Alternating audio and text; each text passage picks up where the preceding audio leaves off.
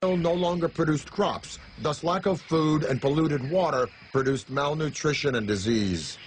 The Maya could no longer count on their kings to intercede with their gods because their great society was in a death spiral, and their kings, so long counted on for guidance and prosperity, were powerless to stop it. So sadly, but slowly and surely, the people voted with their feet, and the ancient Maya left their beautiful cities forever. There were no signs of mass graves. They did not vanish. Where did the millions of Maya go?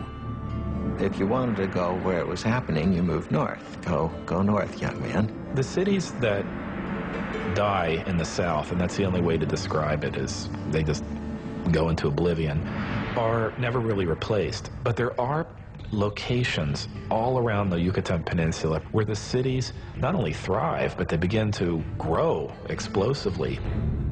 This growth was enhanced by an elaborate network of causeways called sacbes, or white roads.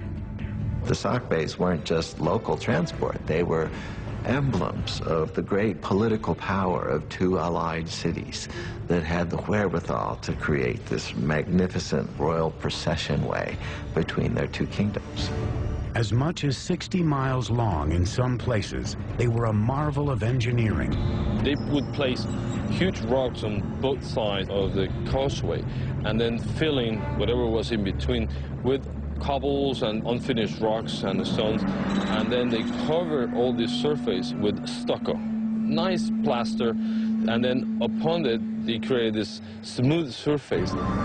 In the Yucatan Peninsula, the sacbes often charted a course through the rough terrain in perfectly straight lines. It's not easy to cut a line 60 miles that doesn't deviate even a, even a degree. I would really like to know uh, what instruments they use. We have no record of it. These causeway systems allowed for rebirth, movement, and trade in the north. And it is there that the ragged survivors of the southern lowlands hope to find a second chance in a Yucatan city called Chichen Itza.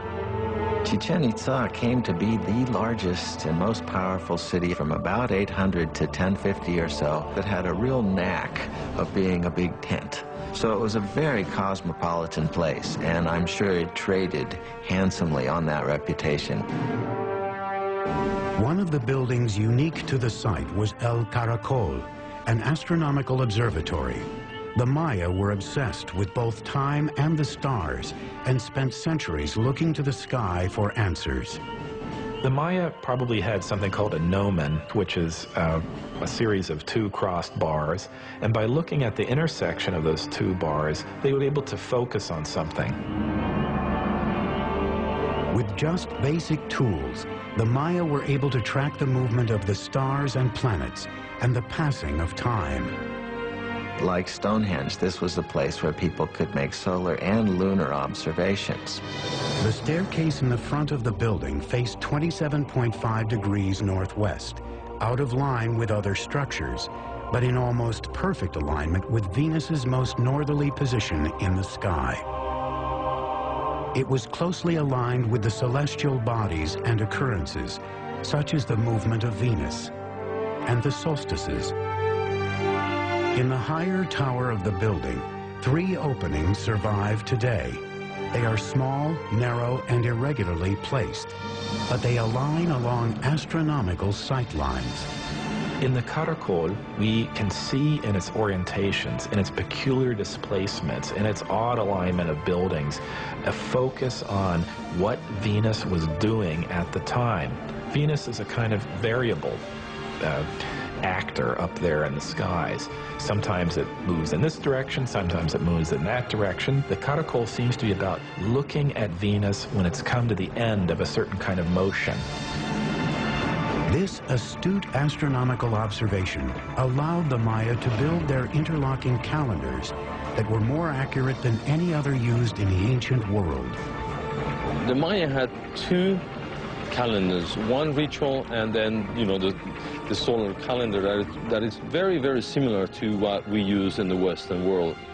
The Maya measured the solar year to be 365 days, their measurements for the revolution of Venus and the occurrence of lunar eclipses were equally on target.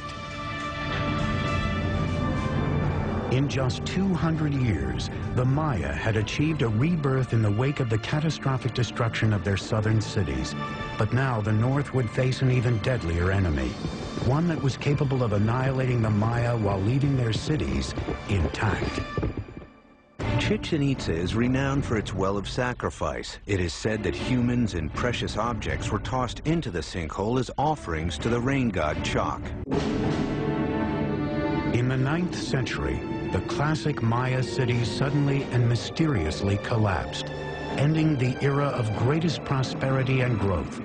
Rebirth in the north gave the Maya an opportunity to combine astronomy and engineering on an unprecedented scale.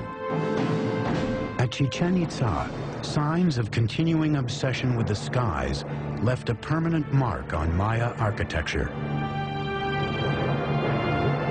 The cornerstone of Chichen Itza was the 98-foot El Castillo, or the castle, built in the 9th or 10th century.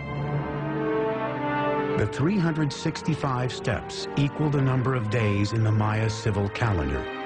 52 panels on each side represented the Maya's 52-year cycle.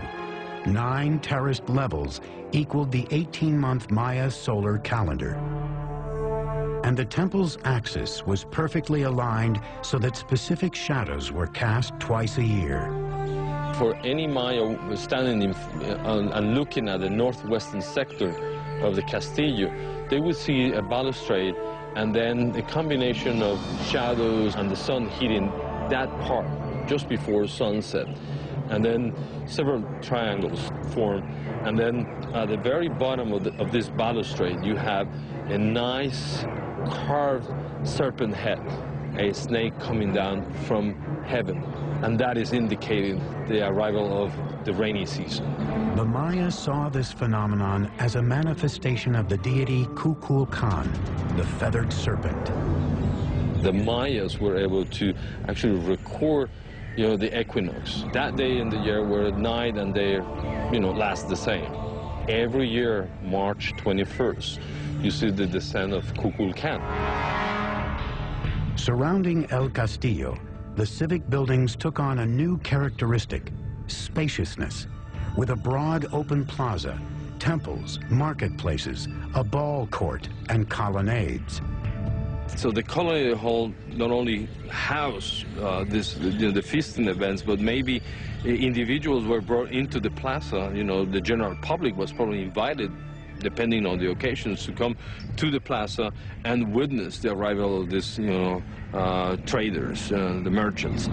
Greek or Roman in appearance, these round columns were used as a new type of structural support and were an architectural first in the Maya world. The benefit of a column is that it allows you to create flat roofs. You're not investing all of your energy in creating stone buildings that are going to be containing corbel vaults which may or may not collapse. The columns were simple in design. Round drums were placed one on top of the other, filled with rubble in between. A square section was placed at the top, and then flat rooftops made of stucco and wood were added to form expansive covered interiors. It involves people more openly in the life of, what, of the building and of what's happening within it than would have been possible with Maya pyramids of the full classic period. Those pyramids are mostly about exclusivity. It's about showing a space, holding it up high, but allowing very, very few people to look into it. The open column structures are much more inviting.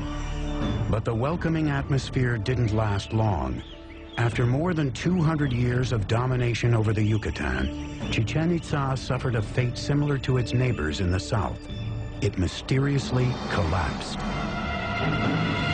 When the Spanish arrived on the shores of the Yucatan Peninsula in 1517, every large cosmopolitan center of the Maya world had been abandoned.